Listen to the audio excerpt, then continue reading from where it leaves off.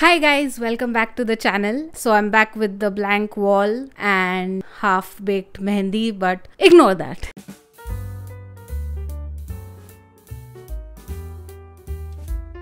So here in India, mostly the American cartoon shows we are familiar with, the ones for adults at least, are The Simpsons, Family Guy, Bojack Horseman, and Rick and Morty, of course. But I don't think a lot of us really watch or talk about Bob's Burgers, which is my absolute new favorite show. Now, there's a lot of reasons for it that I'm going to tell you about today. If I talk about the other shows first, like The Simpsons, it's about socio political issues and shock comedy. Guy also tries to shock you with uh, the occasional Oedipus complex and whatnot. Rick and Morty appeals to a more college uh, mentality. I don't know how else to explain it. Like someone who's a young adult and is kind of messy and needs something to relate to, Rick and Morty is perfect for that. Bojack Horseman is, of course, about deeper, darker themes like depression and the really dark parts of human beings. And it talks about it in a dark humor way, but it also takes things to a serious context. But Bob's Burgers is different from all of these shows in a way that it's for the adult heart, but it's not for shock or awe or just relatability. It is a place of comfort. And let me explain how. So, Bob's Burgers is a show about Bob Belcher and his family, his wife Linda Belcher, his three kids, uh, Tina, Louise, and Gene. Bob is this typical uh, middle aged man, quiet, looks a little bland, doesn't say a lot, likes to concentrate on his work, and he loves his burgers. He loves cooking so much that he talks to his food while he cooks it. Are you mad at me? No, Oh, Burger. You're cute. you're cute too. I'm not. His wife Linda is a big burst of energy in every room. She's excited about things. She loves singing. She loves chanting. Oh, Pass the cranberry sauce. We're having mashed potatoes. Oh, the turkey looks great. Len. Thank you for loving me. Len. Thank you for being there. Oh, God. She likes to make a party out of every situation, and she's the enthu cutlet in the family who keeps the optimism going. Their eldest daughter, Tina, the one who is most relatable for me, is uh, 13 and she's very, very soft spoken. She is kind and, well, she's obsessed with boys. Phenom, is it possible to be in love with 25 people at once? You're my favorite. uh, what can I say? but mostly uh, at the end of any bad situation, she comes out as the person with the heart of gold and the one who brings everyone to their moral center.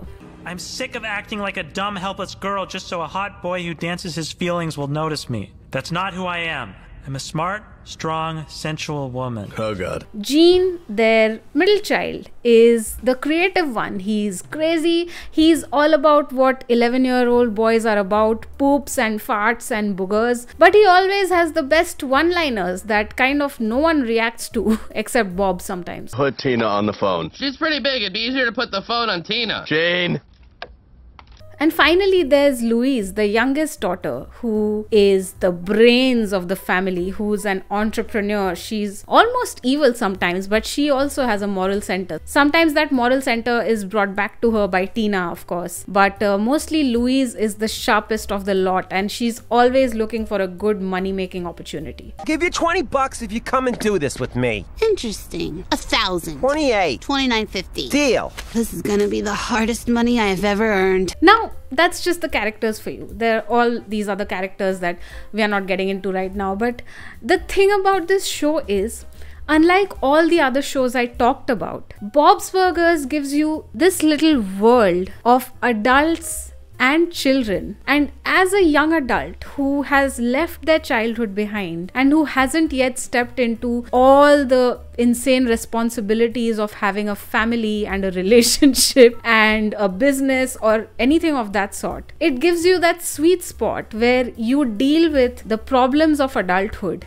and the fun, crazy, growing up moments of childhood there is a sense of nostalgia in this show because it reminds you of all the Cartoon Network shows that you used to love so much because it's right there on the brink but with a few adult jokes here and there. And it has comedy that is a little advanced for children, of course. The sense of nostalgia it brings to you is through the satire it does of your own childhood and your adulthood or the adulthood that you're expecting, the adulthood you have seen in your parents and the other adults around you. One of the tools it uses to do this is giving cisgender female characters male voices. So Linda and Tina are both voiced by men. And like I mean it kind of is a little jarring when you watch it for the first time and you're like why are men giving these women their voices? But that starts to make so much sense because you realize that these characters are a take on who you were as a teenager and maybe a take on who your mom is like or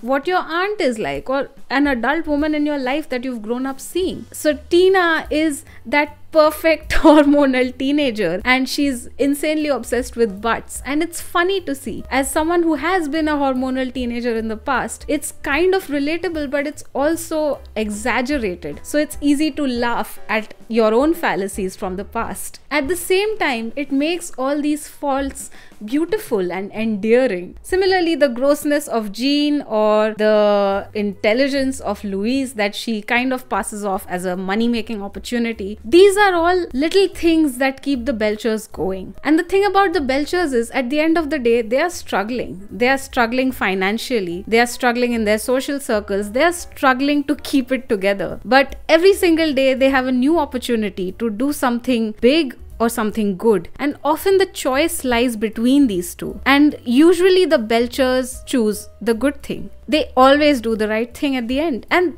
that's why this show has a redeeming quality about it. Not all the other shows I mentioned often redeem their characters. Like the characters say a lot about society. Like Bojack presents a dark reality to you, and The Simpsons makes you laugh at the political scenario of the country. But Bob's Burgers makes you reflect on your own life, which you're probably unsatisfied with, and makes you look at the beauty of it. The everyday mundaneness and the little, little happy little moments hidden there. Every little thing that is funny, every little thing to look forward to. Those moments from your childhood that you forgot about, which you used to enjoy. So the show is ultimately realistic yet hopeful. It gives you hope.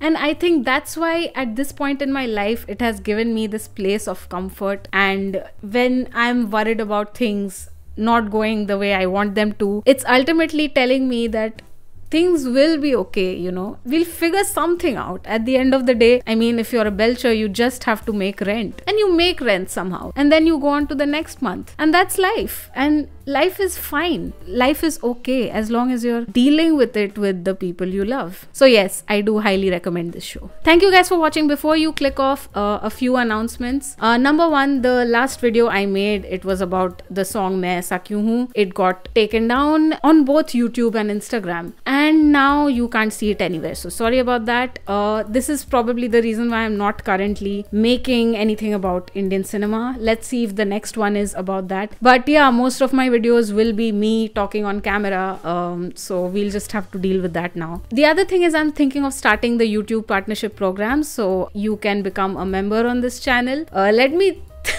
know what you think about that in the comments because um there won't be a lot of perks because I'm a very straightforward channel with a video maybe a week, two weeks, and maybe now and then I'll do a live, but uh, it'll help me out if I do get members on this channel. So think about that if if you have the time. this was just a little tiny simple recommendation video sort of to help you try something new for once so let me know what you think and i'll be back with a longer video maybe next week and i'll see you next time then bye